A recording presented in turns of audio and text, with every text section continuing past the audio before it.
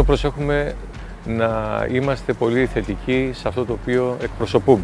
Ονειρεύομαι να τρέξω σε μια μεγαλύτερη διοργάνωση. Σε κάθε αγώνα, σε κάθε προπόνηση υπάρχει πόνος. Τα επαρχιακά σωματεία ανεβαίνουν, ανέρχονται. Η δουλειά του προπονητή ρήψεων στην επαρχία δεν τελειώνει ποτέ.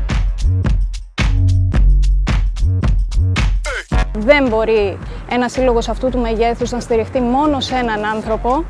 Και έρχονται εδώ πέρα και σοκάρονται λίγο το, στο που κάνουν προπόνηση. Δεν, δεν υπάρχει αυτό πουθενά στην Ευρώπη, στον κόσμο.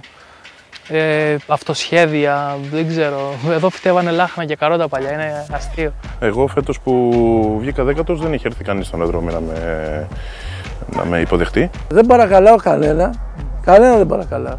Δεν έχω ανάγκη κανένα. Αθλητικές ιστορίες με τον Γιώργο Μιμίκο στην Κρήτη TV.